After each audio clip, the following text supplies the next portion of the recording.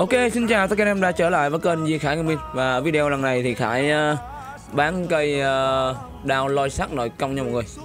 Thì uh, hôm trước Khải mua cây này với giá 12 kim Rồi uh, hòn binh cắt kiểu là điểu. Về cây đao thì tốn thêm 3 kim Và phát sáng thêm 5 kim đó là 20 kim tổng thể. Và lần này thì sau khi không dùng nữa thì Khải bán lỗ lại với giá 15 kim nha năm 15 kim. Uh, ảnh không đủ kim là anh chuyển uh, 3 kim lẻ tiền à, cho em ngồi rồi giờ giao dịch thêm 12 kim là đủ nha nè.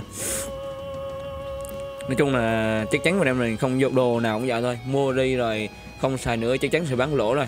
Thì chắc chắn lỗ này khai bán lỗ lần này 5 kim nha 5 kim khai lỗ khoảng ờ, 300 300 k, khoảng 300 k. Rồi, ok.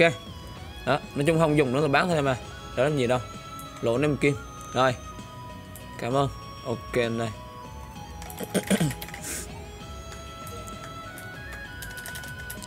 rồi. Bây giờ thì ờ, uh, cắt đường thôi. Đó cái cây loài sắt nội công 179 một khởi đó nè. Hôm trước khởi mình chơi võ đan á cái đó còn dạng tầm tốt mà cũng dạng hàng nô đó nè.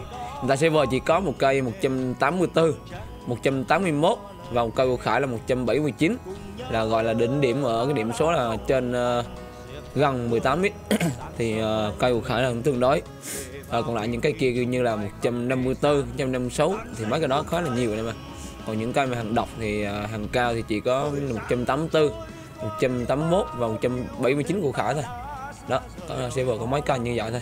Rồi cảm ơn em đã theo dõi video và đừng quên đó là cho khải một like chia sẻ ủng hộ cho nó ơi rồi à, sau khi à, sau này có thêm video clip sắm đồ hàng mua đồ đạc như thế nào nữa thì khải sẽ cho anh em biết nha.